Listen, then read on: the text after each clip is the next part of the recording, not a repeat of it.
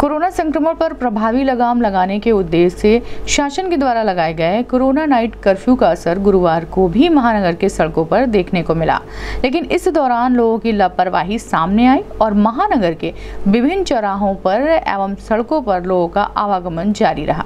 कचहरी चौक, शास्त्री चौक, भगत सिंह चौराहा, नागलिया रोड तथा नार्मल रोड पर नाइट कर्फ्यू का मिलाजुला असर दिखा, जिसके संबंध में एडीएम सिटी राकेश कुमार श्रीवास्तव ने बताया कि रात्रि में 10 बजे से सुबह 6 बजे तक रात्रि कर्फ्यू जारी रहेगा। एडीएम सिटी ने लोगों से अपील किया कि मास्क और सैनिटाइजर का प्रयोग करें, जिससे कोविड के संक्रमण को रोका जा सके। उन्होंने कहा कि जो भी लोग लापरवाही कर रहे हैं, उनके ऊपर कार्रवाई किया जा रहा है।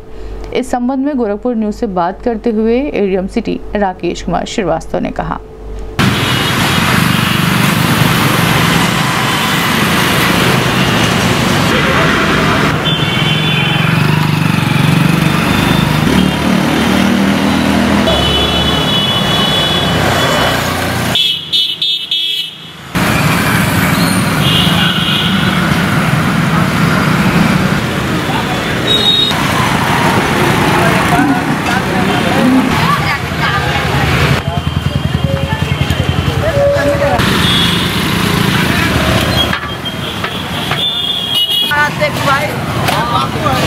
Rabbim.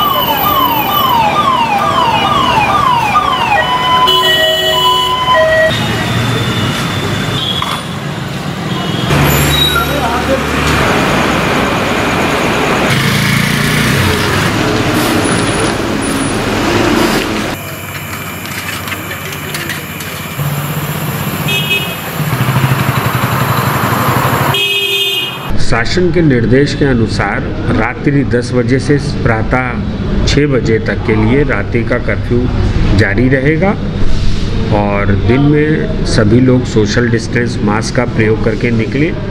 यही जनता से अपील है, जिससे कि हम लोग कोविड के संक्रमण को फैलने से रोक सकें और किसी भी प्रकार की जनहानि को होने से बचा सकें। सर, बहुत लोग हैं जो लापरवाही कर रहे हैं ऐसे जो लोग लापरवाही कर रहे हैं, मास्क वगैरह में, उन पर चालान पुलिस के द्वारा भी किया जा रहा है, मजिस्ट्रेसी के द्वारा द्वारा भी किया जा रहा है।